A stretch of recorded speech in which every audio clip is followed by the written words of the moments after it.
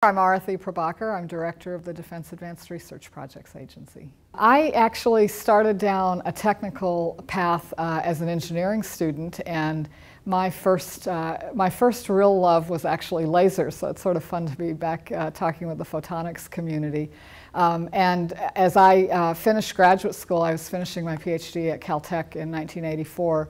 And I realized that what I really cared about was what impact my technology made, and that, that I, I, was really interested in taking what I'd learned in doing basic research and expanding it and seeing a, a larger landscape. Uh, I came to Washington on a congressional fellowship for what I thought would be a year. Uh, and that ended up being 13 years, of which uh, I spent seven uh, at DARPA initially as a program manager and then as an office director from 1986 to 1993. And then in the Clinton administration, I was director of the National Institute of Standards and Technology. After that, I spent 15 years in Silicon Valley, most of it in a venture capital firm, about a decade uh, at an early stage uh, Silicon Valley venture capital firm.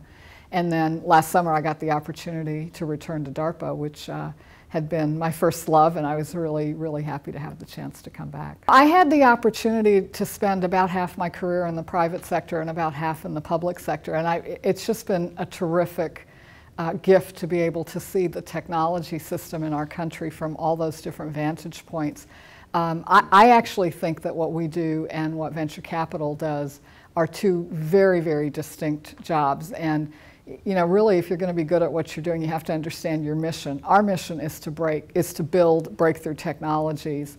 When I was in the venture capital business, our mission was to build great startup companies, and that's a fundamental difference. Now, the part that I think is similar is that in both cases, you work with this vast and interesting community outside your own four walls, and that's a very satisfying feeling. I think it's a very boundless feeling that I really, really particularly treasure in both of those roles.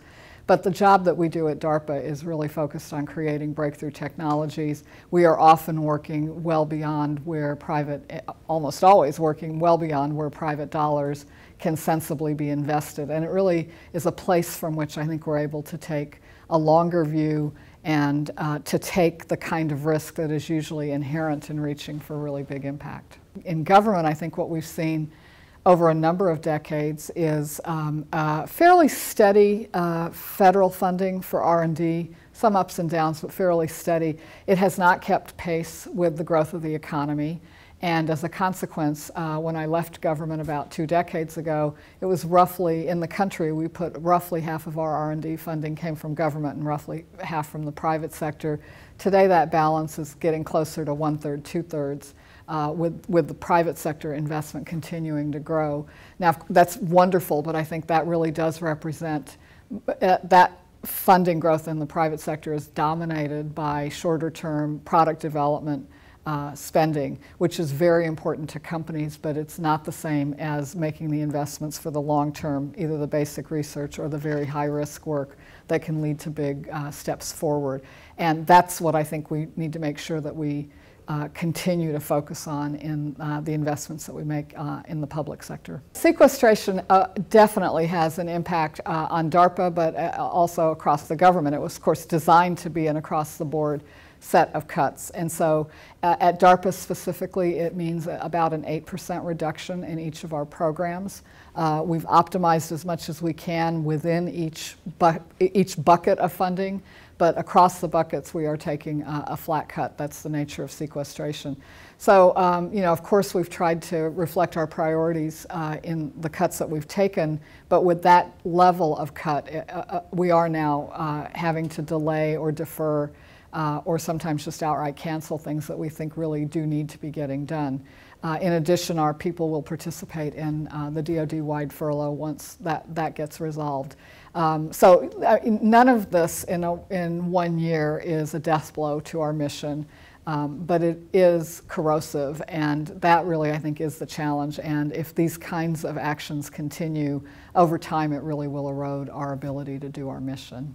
The BRAIN initiative that President Obama announced recently for DARPA is a chance to continue and expand some of the work that we've been doing.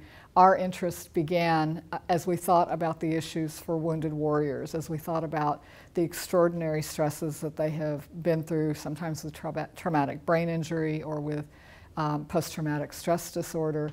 Um, so we had started some programs a few years ago to look at uh, questions like could we understand how memory loss uh, was affecting brain function? Were there ways that we could understand um, uh, what was going on in a way that allowed us to fix um, that kind of short-term memory loss that we saw in many uh, wounded warriors. We also started experimenting with advances in prosthetics.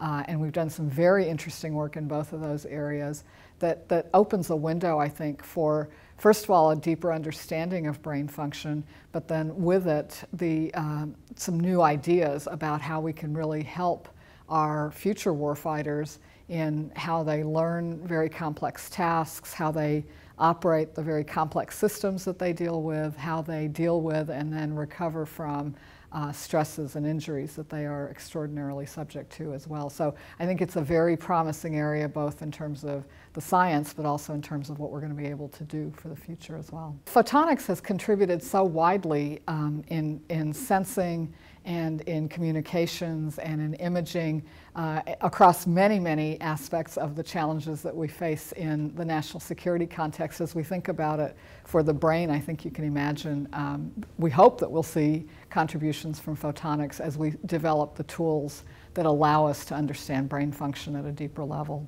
If we're successful, if we do our job at DARPA and we engage with the broad technical community, including the SPIE community, then over time what we're going to do is build a new generation of technologies for national security and it's going to change the options that our future leaders have for whatever challenges our country faces. That's really why we come to work every morning. I think it's going to be a good role for photonics in that. Uh, you know, if you think about how we got where we are today, today our warfighters own the night and they actually often prefer to operate at night because they have an entire part of the electromagnetic spectrum that the other side doesn't have access to. That's because of the work we've done with IR imaging and night vision, and that's the photonics community. And if you think about advances in imaging and advanced communications, um, it's a very long list, and uh, it's, it's a set of solutions that are full of photons.